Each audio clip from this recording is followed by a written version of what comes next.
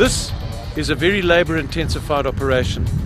The potatoes have to be removed from the pallet and then manhandled into the hopper and then a fungicide powder is then treated to for each potato. Let's watch that process. Then we will show you the operation of Manitou's involvement where it reduces all this by as much as 30%.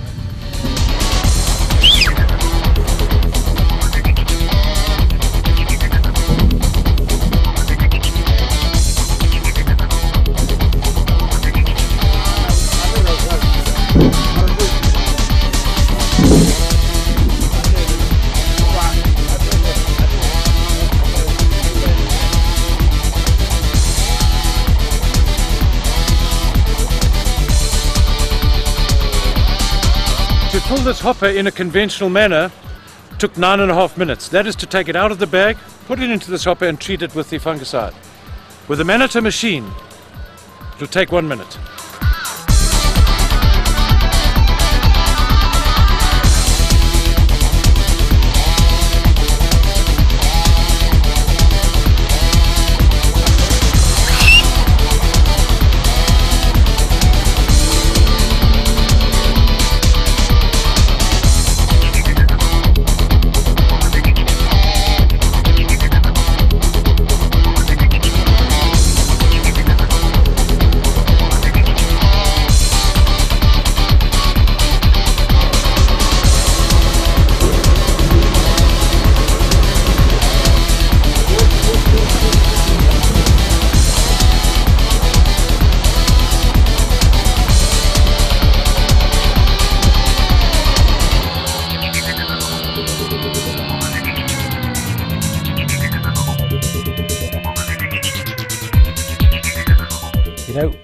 First look at it, the first time when I when I spoke to Johan, uh, obviously I was previous, uh, pri- privileged enough to, to went to France and went to the factory and see everything there. Once you get there as a farmer, it's difficult to, to, to realize the, the amount of difference it can do to you on your farm. Um, because you look at the machine and you see, yeah, you know, there's a couple of things that you can use it from, but how will it affect me on my farm? You'll never know the difference until you've proven it on your farm. And once you've seen it on your farm, then you only started realizing the huge difference it makes to your farm. If you look specifically to my potato uh, way that we handle potatoes and plant potatoes at my field, you know, it usually would have taken us roughly about two weeks to plant this specific field potatoes, which with the Manitou now, it reduced that time to uh, just over in a week. You know, we've been planting from last week Monday, and we are, you know, on on Tuesday today, and we're going to be finished today. So you know, the the, the time that we've we've we've saved on that, it's it's just enormous. If you if you look at a at a time point of view, it I could usually have planted roughly between four hectares per planter per day but then I should start early, early in the morning hours and, and finish late. Now I can manage to plant seven hectares a day with that with one planter, and we even have spare time in the morning, like you've seen when you came here this morning. We've got spare time to clean the planters, check everything before we go back to the field, which makes it a bit easier for us to manage the whole situation and the planting situation you know, the, the secondary effect or the roll-on effect, as you say, you call it, is, is it's actually enormous. You don't realize it until you've seen it, because of the planting time. Because the potatoes take quite a long time to emerge out of the ground because it's a we we plant it as a as a winter crop, so it takes roughly a month to emerge out of the ground. But once it emerges out of the ground, you we follow a very s- strict spraying program and fertilizer program, which means that we have to spray every week, and, and, and almost every second week. It depends on, on, on the crop stage and everything. We do fertilizing.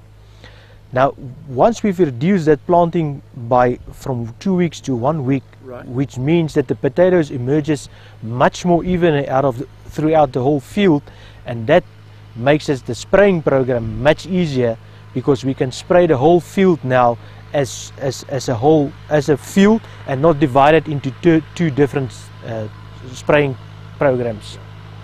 To look at the manpower point of view, my biggest concern on my farm is to get the most out of my people that working for me, the most efficient manpower out of the guy. You know, it's, it's no use to employ people and let them stand next to the field for half a day without doing anything and waiting for planters to get out of the field to be refueled. So we want those people to be as efficient as possible and that has made it much more efficient for me to use the people with the Manitou because now what I can do is I can use my people to operate the Manitou and load the planters for me at a much quicker time than what we used to do by loading it by hand. I still use the same people, but the time uh, turnaround time for me it's so much easier, which makes me as a farmer more efficient and more cost productive. Breakages very much. Um, if you look at the way we handle the potatoes, you know, we treat the potato with a fungicide powder that we, we actually sprinkle over the potatoes. Now once you, you put it in by hand, you get the effect that the people take the bags, they throw it onto the planter, there's somebody standing on top there that's handling and throwing the powder. So there's a lot of handling of the potatoes, stepping on it, and, and the way they throw the powder on it, you don't get that even spreadage of the powder that you would like.